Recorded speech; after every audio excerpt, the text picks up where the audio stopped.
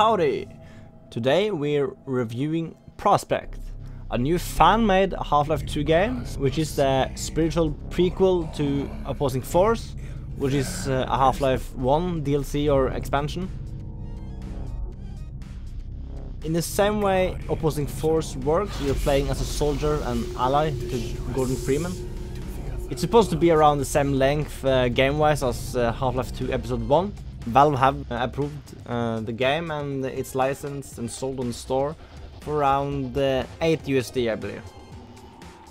The game feels very familiar as it's based on Half-Life 2 and if you like Half-Life 2 or the Portal puzzles, then you are in for a treat.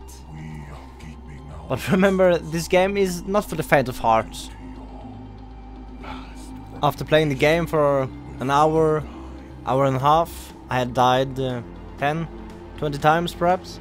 And uh, I, I think you should expect to do the same, unless you're some kind of gaming genius.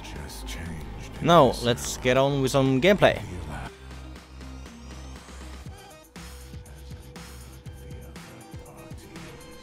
The game itself is uh, very story driven, as it should be, as it's a single player game.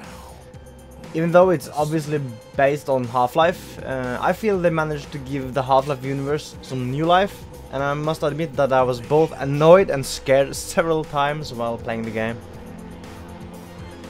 This is the first puzzle you'll encounter, and while it's not advanced, I thought it was a pretty good way to introduce you on how the game would work. Every now and then, your screen will turn blue-grayish, uh, which means you're thinking about your past and what you've learned earlier. It's uh, a way to not encourage combat while they're telling you a part of the story. You quickly learn that you're a soldier, trained for heavy combat, even though you have no idea what's happening right now.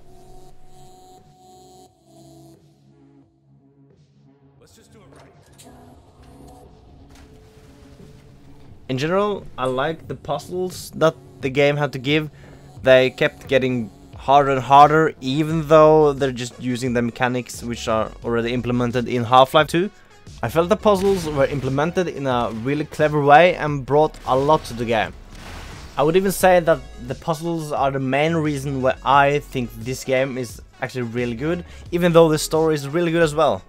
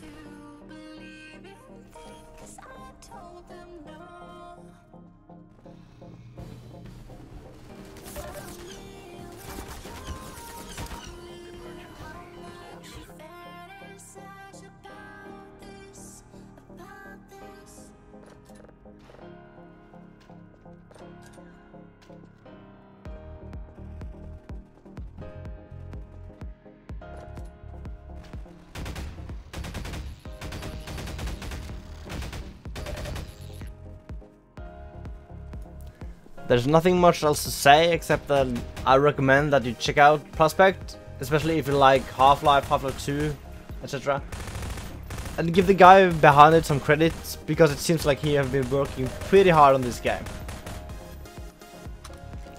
Not all the puzzles are real puzzles like you'll see in other exploration or puzzle games, but rather how to get from A to B without dying or losing too much health, like I'm having big issues with here. I struggle at this point, yeah, at least 3-4 times. You will encounter this pretty fast and you will most likely have to try a few different approaches before you succeed as well.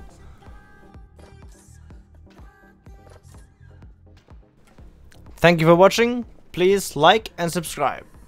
See you next time.